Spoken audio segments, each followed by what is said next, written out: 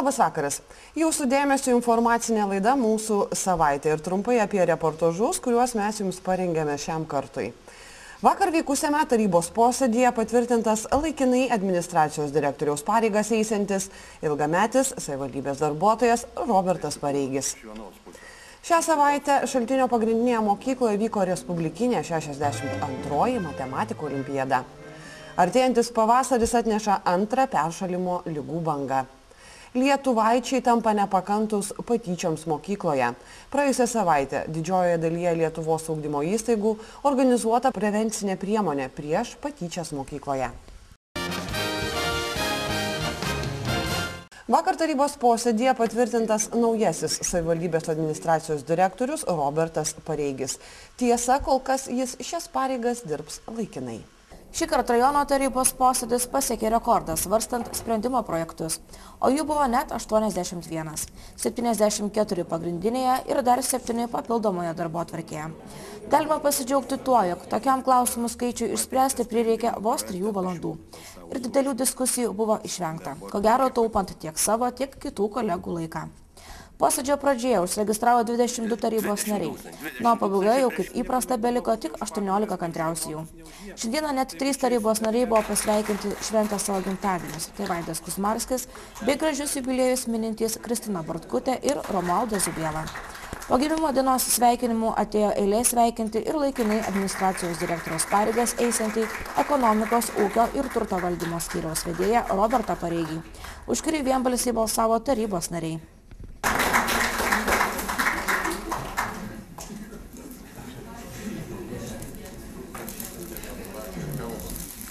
Kadangi trumpas apsisprendimo laikas buvo ir nespėjau pasiruošti kalbos, tai aš kiek suprantu, kad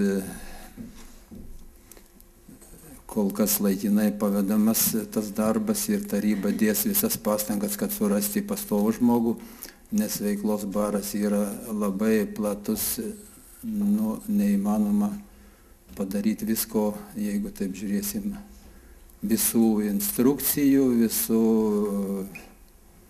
aprašymų, reglamentų ir taip toliau. Tai bandysim laikinai pavaduoti, o toliau žiūrėsim, kaip bus.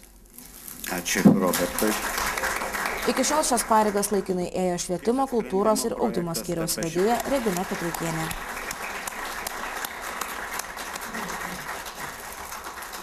Jeigu galima ir aš norėčiau padėkoti E, pirmiausia, suprantame, noriu padėkoti gerbiamam merui Algimantui Mėliniui, nes tikrai buvo e, vienas iš pagrindinių pagalbininkų. E, labai noriu padėkoti Indrė Antanaitiniai, ekonomikos departamento direktoriai, taip pat už labai nuoširdžią pagalbą, kadangi Direktorė e, dirba dviejose pareigose, vykdo ir strateginio planavimo skiriaus vedėjo funkcijas ir departamento funkcijas, taigi e, man jos pagalba buvo labai reikalinga. Taip pat dėkoju visiems skyrių vedėjams e, už jūsų geronoriškumą, supratimą, profesionalią pagalbą. Žinoma, visiems kitiems už tai, kad buvo galima įveikti per nemažai mėnesių E, vykdyti keletą funkcijų ir patapti darbščiausia Europos moterimi, kai buvo e, rašoma žiniasklaidoje, tas susirinkus visas nominacijas. Aš dar kartą jums visiems dėkoju. Didžiąją šiandienos tarybos posėdžio sprendimo projektų dalį sudarė rajono kultūros, ūkdymo, uždarių akcinių bendrovių ir įmonių veiklos ataskaitos, kuriams taip pat buvo pritarta vienbalsiai. Nuo visą 42 tarybos posėdžio vaizdo įrašą kviečiame žiūrėti jau šį vakar iškart po Raseinių krašto televizijos žinių. Raseinių šaltinio pagrindiniai mokyklai teko didžiulė garbė. Šią savaitę į šią mokymo įstaigą susirinko visos šalies jaunieji matematikai. Vyko 62 matematiko olimpiada. 62 Lietuvos mokinių matematikos olimpiada prasidėjo Raseinių meno mokyklos mokytojų, mokinės ir šokėjų pasirodymų, atliekant Mironio žodžiais parašytą kūrinį už Raseinių ant Dubysos. Šaltinio pagrindinės mokyklos direktorė pasveikino atvykusius svečius, iškart pabrėždama, jog šiandien jie visi vieši būtent šio poeto Dainios gimtinėje. Mūsų mokykloje. Aš jūs labai visus sveikinu čia susirinkusius. Ir labai malonu, kad jūs atvykote ne tik tai į mūsų mokyklą, jūs taip pat turėsite galimybę apsilankyti šiomis dienomis ir Lietuvos poeto žemėje, Maironio žemėje. Visus dalyvius sveikino ir sėkmės linkėjo rajono meras, administracijos direktorė bei šio konkurso vertinimo komisijos pirmininkas. Man kaip merui be galo džiugu, kad šitą 60-oji olimpiada vyksta mūsų mieste, mūsų gražioje pagrindinėje mokykloje, kuri nesenai buvo dar vidurinė. Tikrai mokiniam galiu pasakyti, kad komisija turite tikrai tvirtą. Po visų palinkėjimų ir muzikinių kūrinių mokiniai išėjo spręsti sudėtingų matematikos uždavinių. Iškart po konkurso mokiniai turėjo galimybę sudalyvauti ekskursijoje ir aplankyti Raseinių krašto įžymesias vietas. Olimpiados uždarimo šventė prasidėjo Raseinių meno mokyklos akordeonistų ansamblio, vadovaujama Gražvido Jagnoro pasirodymu. Nuotaikingi kūriniai sumažino šiek tiek tvirojusią įtampą salėje. Na ir iškart nieko nelaukiant buvo priartėta prie svarbiausio momento. 62-osios matematikos olimpiados prizininko apdovanojimo. Kaip paskelbė vertinimo komisijos pirmininkas, habilituotas fizinių mokslų daktaras Artūras Dubickas, Lietuva gali didžiuotis savo jaunaisiais matematikais, kurie tarptautinėse matematikos olimpiadose iškovojo net 19 aukso medalių, ženkliai pranokdama tokias šalis kaip Latvija, Estija, Švedija ir Suomija. Tai dėkoju mokyklai, rajonui. Tiktais jokių problemų nebuvo, olimpiada praėjo sėkmingai artėjom prie pabaigos jau. Na ir šiek tiek apie rezultatus dabar apžvelgsiu ir apie ateitį, kas toliau čia mūsų laukia. Nu, suskaičiavau prizinės vietas, labai panaši situacija kaip kasmet. Šiemet tikrai negalėjom prizinių vietų po 8 kiekvienoje klasėje, vienoje klasėje 7, kitoje 8. Iš 31, iš 31 prizinės vietų 17 iš licėjaus, iš 4 pirmų vietų 2 iš licėjaus. Pusė kasmet maždaug ta situacija kartojasi, nu, nežinau, kai kurie ten gal ir pyksta, bet aš pažiūrėjau mūsų rezultatus nuo 2007 metų pasaulinio olimpiadai, kai mūsų mokinys pirmą kartą iškovojo aukso medalį, tai per šešis metus mes turim 19 medalių pasaulinio olimpiado. Iš 19 medalių yra 4 KTU gimnazijos ir 15 licėjaus. aš tiesiog neįsivaizduoju, ką mes darytumėm, jeigu to licėjaus nebūtų. Nu, kaip palyginimui galiu pasakyti, kaip, kaip atrodo mūsų kaimynai. Estija keturi medaliai per šešis metus, Švedija devyni, Norvegija keturi, Latvija šeši, Suomija su savo išgirta sistema penki, mūsų devyniolika. Prizinių vietų laimėtojai yra pakviesti dalyvauti tarptautinėje ir vidurio Europos matematikos olimpiadose. Į Lietuvą plūstelėjo antroji ūminių viršutinių ir apatinių kvėpavimo takų infekcijų susirgymų banga. Raseinių ligonės vaikų lygų skyriuje mažųjų ligoniukų dėja nemažėja. Tarp vaikų lygų skyriuje šiuo metu esančių pacientų vaikų gripo atveju neužfiksuota. Tačiau dauguma iš jų serga ūminėmis viršutinių ir apatinių kvepavimo takų infekcijomis. Kai kurie iš pacientų netai priseniai išleisti namo, tačiau įvykus komplikacijoms ir vėl tenka gydytis ligoninės palatoje. Iš tiesų tai tikrai taip. Mes ir patys, žinokit, labai laukiam, kad ta banga kaip ir nuslūktų. Bet kaip ir prasidėjo nuo gruodžio mėnesio, taip iš ties išlieka labai aukšta sergamumo banga. Jeigu vasario ir sausio mėnesį vyravo e, grinai viršutinių kvėpavimo takų infekcijos, gripo atvejai, tai Dabar jau vat, nuo kovo mėnesio pradžios daugiau ir apatinių kvėpavimo takų lygos, tai plaučių uždegimai, obstrukciniai bronchitai, ir tos pačios viršutinių kvėpavimo takų infekcijos, bet kurios eina gan vangiai ir vaikai labai, nu, susirgymai recidyvuoja, nespėja pasveikti ir vėl atsinaujina lyga. Kažkaip imunitetas turbūt labai silpsta ir tiesiog prasideda naujos infekcijos ir, ir kitos infekcijos, ir žanino infekcijos, ir tikrai susirgymai labai įvairūs. Ir tie, kad kiek žinom, kiek tenka bendrauti su kolegom ir iš Kauno apskrities, ir iš kitų ligoninių, ir pas mus atvažiuoja gydytojai dirbti būdėjimais, kurie dirba kitose ligoninėse, tai kiek žinom, net ir Klaipėdos ligoninėje lygiai ta pati situacija, tikrai daug ir ambulatorinių ligonių, ir vaikų lygų skiriai perpildyti, kaip mūsų ir administracija pažymėjo šiaip rajone vaikų mažėja o ligonių daugėja.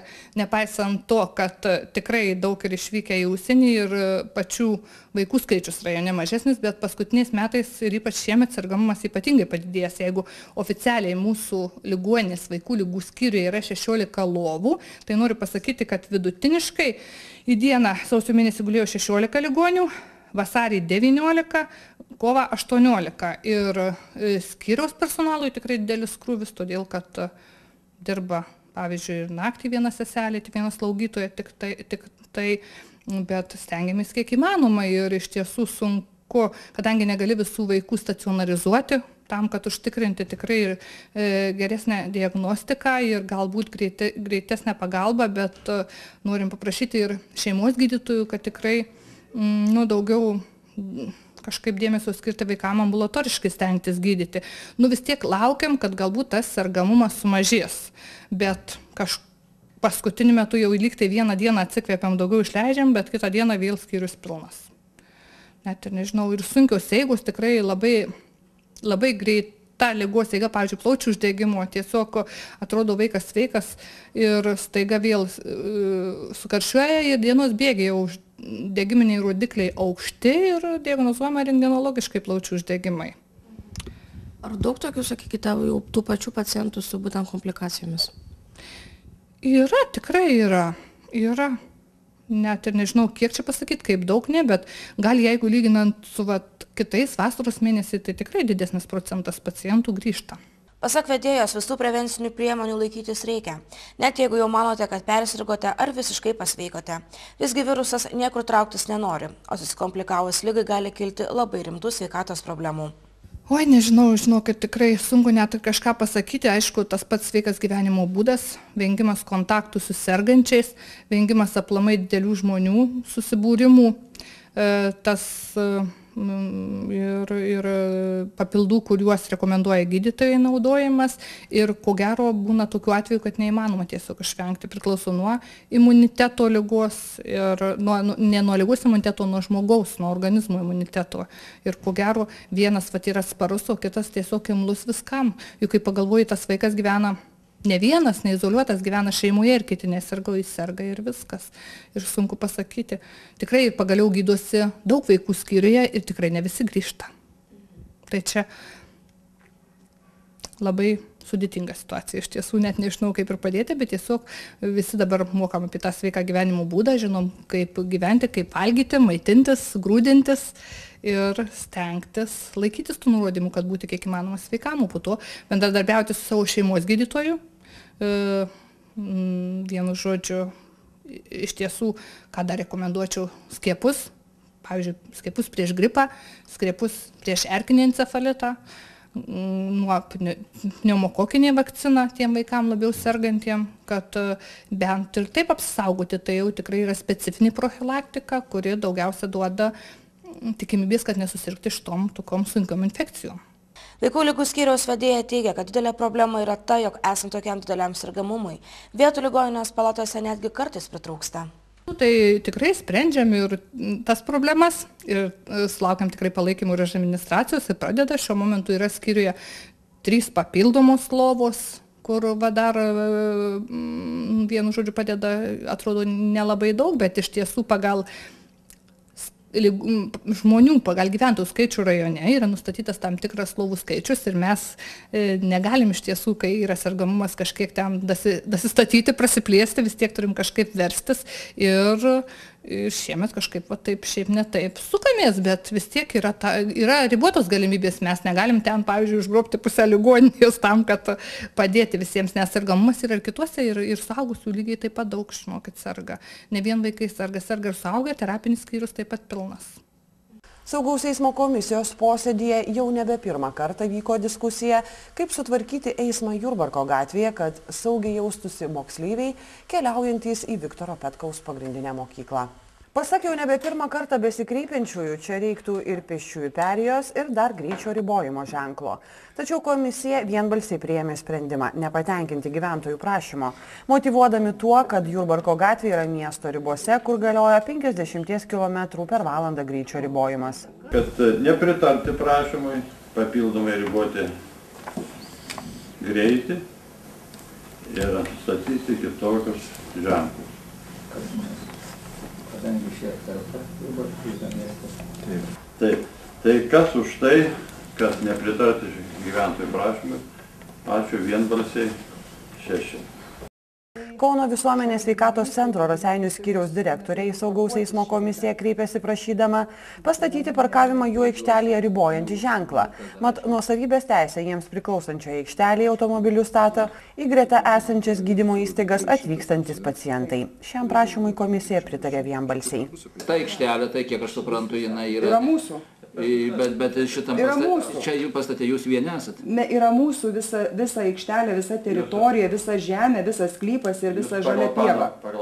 Mes yra sveikatos apsaugos ministerijos nusavybė. Mes ją prižiūrime, mes kasam sniegą, mes ją asfaltuojam, atvažiuoja prišiukšlina. Tai viskas tada, jeigu, jų, jeigu jūsų yra, jūs savo kieme šeimininkai Taip. statot ženklą ir viskas. Tai aš turiu gauti leidimą iš jūsų, aš negaliu pasistatyti. Mes, mes, jūs, mes jūsų kieme, jeigu, jeigu jūsų įmonės kieme, Taip, mes taip. tik, mes tik tai galim jums pritart. Čia ne, ne, ne Va. jūsų įmonės, tas ne, čia ne miesto. Ne, ne miesto, čia yra mes, mūsų. Mes, kaip sako, kalbam. Jūs čia to, to neparašė, čia keičia pa, iš esmės visą, Visą tai. dalyką mūsų tą esmę, pakeičia, jeigu tai, jūs turit nusavybę į tą žemės. Taip. Tikrai turite nusavybę? Taip, taip yra Nu, panauda. viskas. Savivaldybės šitą ministeriją. Taip, panaudos pagal taip, taip. Technikos klausimas Kas ir už jūs. tai? Tokia rodiklė, tai jums tada Gerbiamas reikia. architektė, mes jau balsuojam. Kas už tai? Ačiū vienbalsiai. Raseinių miesto gyventojai jau nebe pirmą kartą kreipėsi į komisiją siūlydami keisti parkavimo tvarką Vytauto didžiojo gatvėje. Tačiau pasak specialistų to šiandien ir dar mažiausiai vienerius metus daryti negalima, nes tai dar kol kas garantinis objektas ir pagal įstatymą penkerius metus rekonstruotoje gatvėje galiojančios tvarkos pakeisti negalima. O ir kas porą metų keičiama automobilių parkavimo tvarka, kažin kiek duotų naudos. Manau, kad e, ir ateityje reikėtų nebesvarstyti šitų dalykų, todėl kad e, dabar bet koks pakeitimas įneštų dar didesnį sumaištį.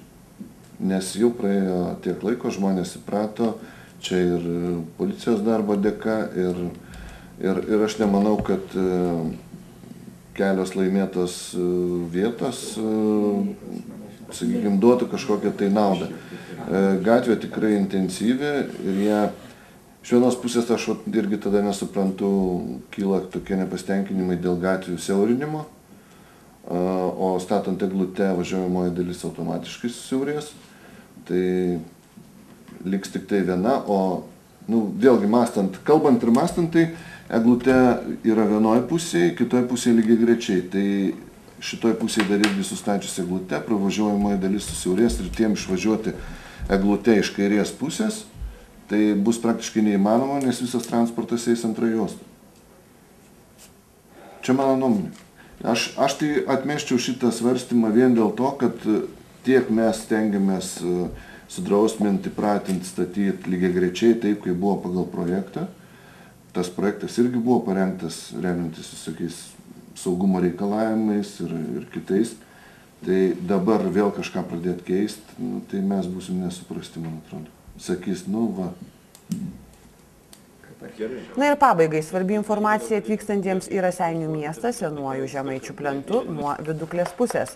Netolimoje ateityje keisis miesto ribos skelbinti ženklo vieta. Komisija pritarė Raseiniškio siūlymui miesto pradžią skelbinti ženklą perkelti iki faktinės miesto ribos, tai yra netoli Šlynos upelio.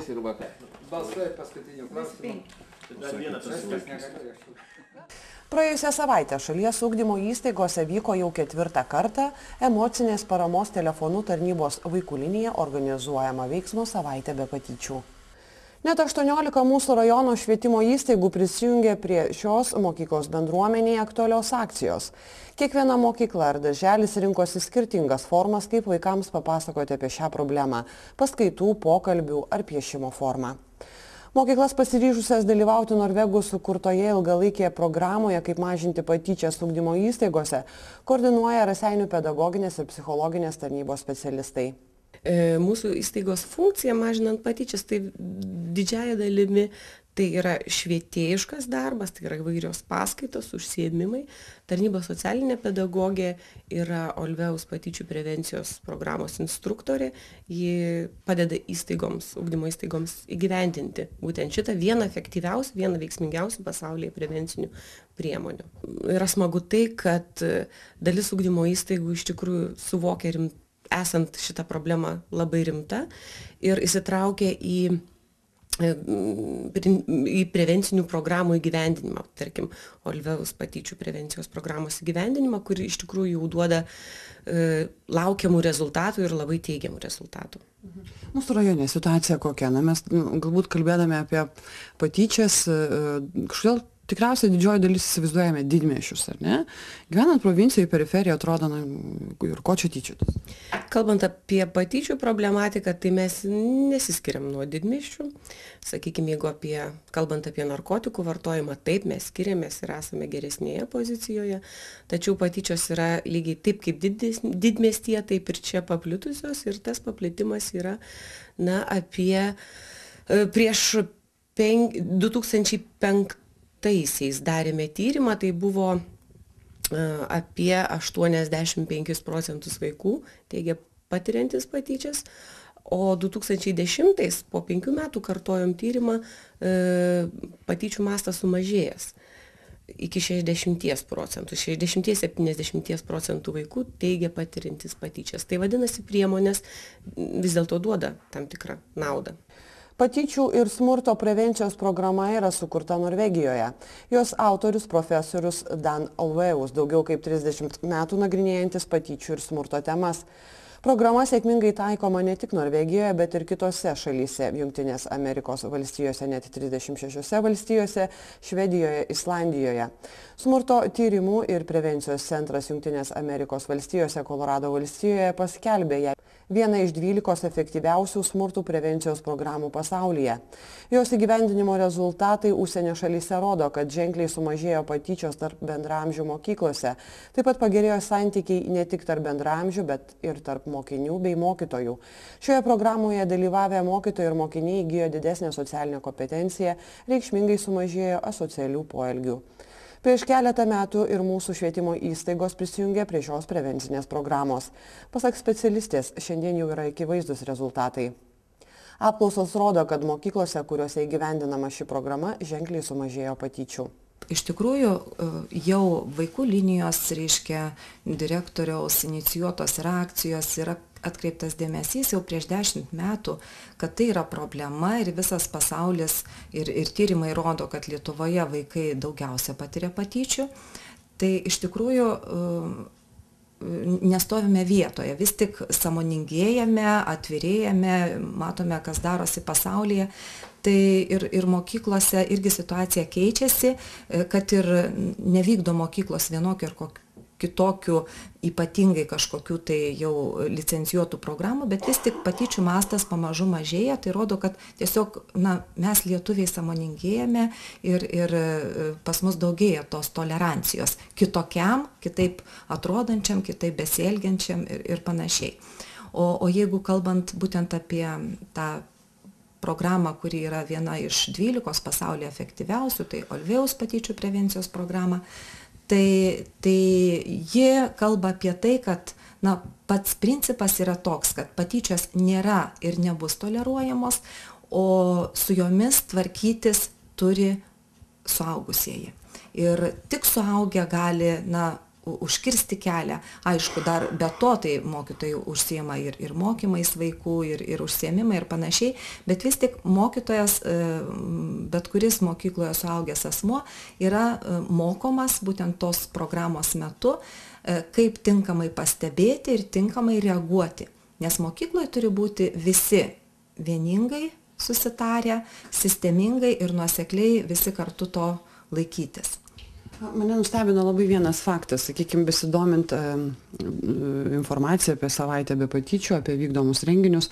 E, Raseinių krašto ugdymo įstaigų buvo užsiregistravę net 18, tarp jų netgi lopšeliai darželiai. Tai man toksai klausimas, na ką, regis jau kur kur, dar tarp mažųjų mūsų lyg ir neturėtų būti tų patyčių. E, kaip Jūs manote, kaip vyksta ten pokalbiai, būtent apie, apie tą jautrį temą? Mhm. Iš tikrųjų, na, vaikai auga ir, ir atrodo, kad nieko nėra, bet vaikai yra gyvi, jie supyksta, jie konfliktuoja, e, vienas kitą erzina, tai iš to išauga ir paskui tos didesnės patyčios, kai jau mes jau sureaguojame smarkiau. Tai iš tikrųjų e, ypač sakyčiau labai gerai, jeigu ir nuo darželio jau pradedama irgi vaikus e, kalbėti apie tai, kaip jaučiasi jie. E, kaip aš jaučiuosi, kaip kitas jaučiasi, o ką reikėtų daryti, kokia yra gera išeitis, kad gera išeitis tada, kai aš gerai jaučiuosi ir kitas gerai jaučiasi, o kaip tada reikėtų mum elgtis ir gyventi, kad mes gerai jaustumėmės. Tai iš tikrųjų, kuo daugiau kalbėtume apie jausmus ir, ir, ir, ir vat, nuo kuo mažesnių, nuo mažesnio amžiaus ir, ir šeimoje, ir, ir, ir, ir nuo dviejų, trejų ir, ir, ir taip toliau, tai vaikai vienas kitą geriau suprastų ir, ir vienas kitą geriau toleruotų.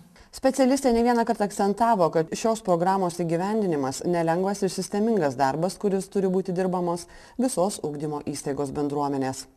Ir dar toli gražu ne visos mūsų rajone esančios mokyklos ryštasi pradėti šį titanišką, tačiau labai reikalingą darbą.